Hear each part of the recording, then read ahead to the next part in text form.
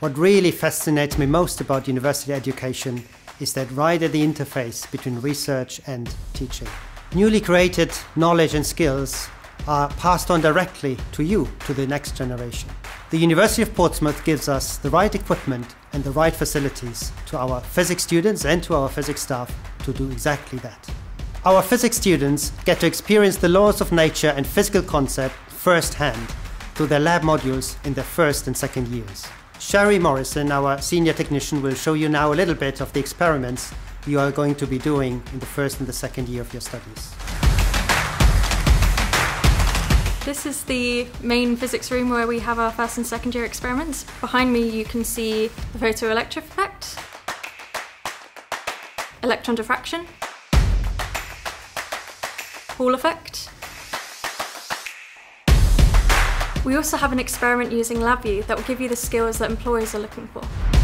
Here's the AFM, it stands for Atomic Force Microscopy. Here we can look at the topography of a surface, so that's what the surface looks like and how it has all these bumps and ridges. But really these features are only a few nanometers tall. You can see an image of my hair. My hair is only roughly 100 microns thick, and this image is only 10 microns across. You can see all the scales, and all the bumps and all the shapes on my hair.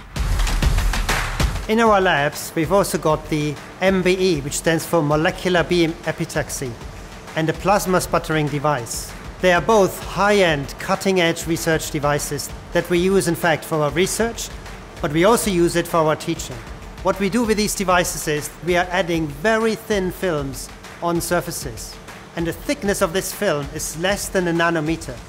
Think about it, less than a nanometer is just the size of an atom. So the device creates a vacuum less than deep space, 10 to the minus 10 millibar.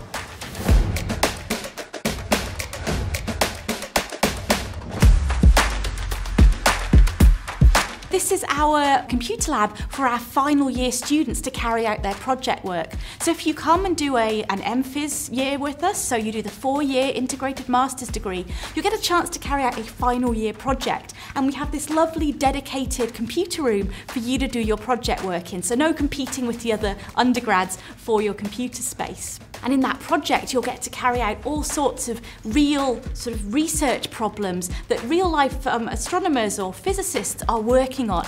So for example, this kind of projects I'm offering this year, my students will be working with observational data sets from large cutting edge astronomical surveys. They're going to be searching for supermassive black holes in galaxies.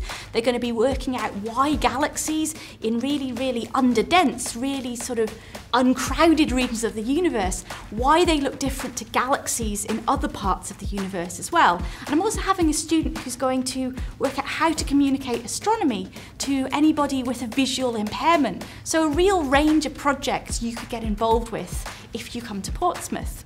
So we look forward to welcoming you to the University of Portsmouth and I think you'll really enjoy your time here studying with us. The offices of our physics staff are located in the Dennis Sciama building, right next to the labs. The Dennis Sciama building also hosts the well-renowned Institute of Cosmology and Gravitation that is well known for its world-leading research in astrophysics and cosmology. When you study physics with us, you get the opportunity to work on exciting research projects together with our staff from the Institute of Cosmology and Gravitation in fields like astrophysics and cosmology.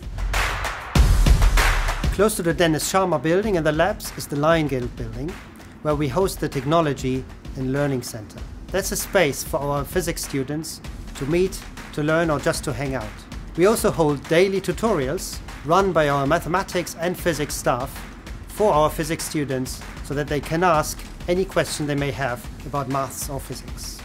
We look forward to welcoming you at the University of Portsmouth to discover the magic of physics with us.